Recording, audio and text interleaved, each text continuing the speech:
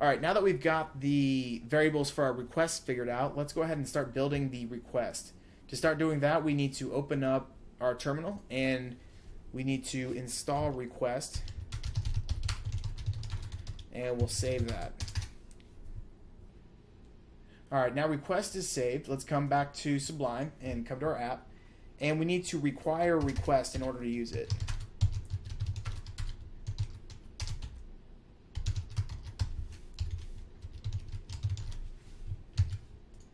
All right, now that we've got request figured out, let's go ahead and let's jump to the CloudScrape API documentation so we can kind of see our endpoints that we're going to use.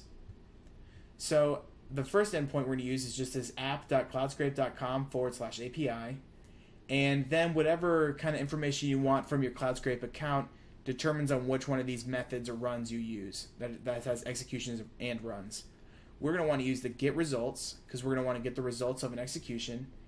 So that means our route is then actually going to be forward slash API forward slash executions.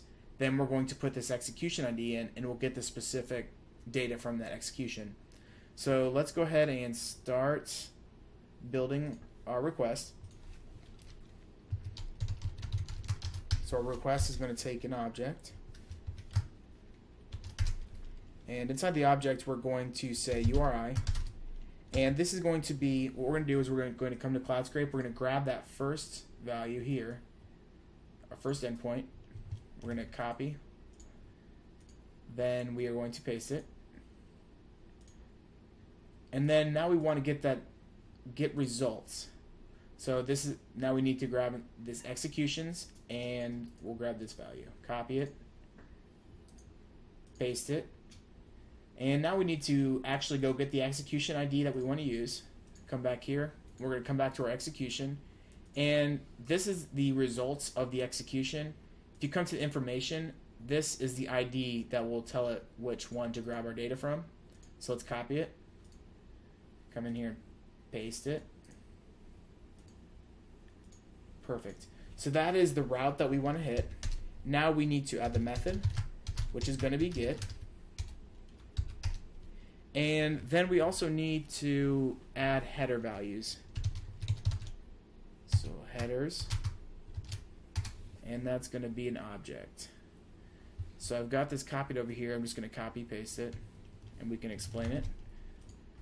So the headers that CloudScrape wants is the access key, which is this hash key we have here. Then it also wants your account, I, or account ID, which actually we have a variable. So let's go ahead and remove this and say account ID. And that's all the headers that it's going to take. Now we need to do is pass it a function to fire off when we get results. And we're going to pass it our error value and our response value. So the first thing we are going to do is check if there's an error, so a little bit of error handling. So we're going to say if no error, run this file, and we are going to we'll say variable results equals response. Let's see, response, and then we want to get the body of that, so dot body. And because that's going to be JSON, we want to make sure we parse it first. So we're going to say JSON dot parse. Sorry, that is my washer json.parse body, and let's go ahead and console log the results. We'll say success. Here is your data. And then we're also going to log the results.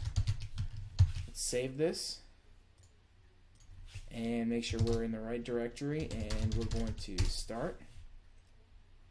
And now when we go to the URL get fighter list, we should Perfect. So this is all the data from our um, CloudScrape run that we just got. So as you can see, we've got fighter name, all this information. Now the next step that we're going to do in the next video is we're going to send this information to the client and then start building our Angular app. See you next time.